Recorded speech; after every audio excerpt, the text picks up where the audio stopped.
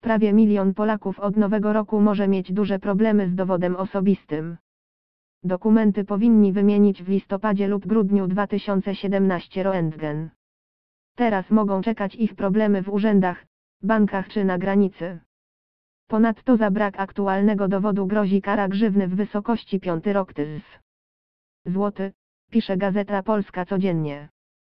Stare dowody osobiste, wydawane w formie zielonej książeczki, książeczki zdrowia oraz zeznania świadków mogą potwierdzić staż pracy, od którego z danych Ministerstwa Cyfryzacji wynika, że prawie milion Polaków powinno złożyć wniosek o wymianę dowodu osobistego do końca 2017 Roentgen.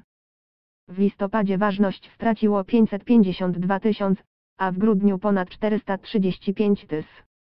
Dowodów wiele osób nie złożyło jednak wniosków o nowe dokumenty, a to oznacza, że w przyszłym roku mogą mieć kłopoty, ponieważ od stycznia ich dowody osobiste tracą ważność, a na wydanie nowego czeka się do 30 dni.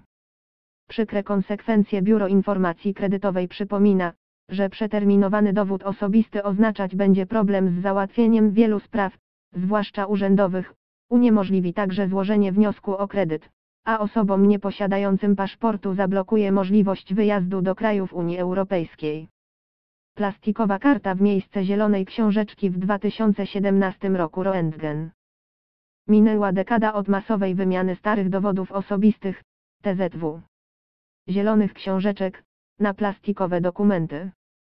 W sumie w tym roku przeterminowało się 5 milion starych dowodów osobistych, a dodatkowe trzeci rok milion nowych dokumentów powinny być wydane w związku z zagubieniem starych dowodów, a także z powodu zmiany danych.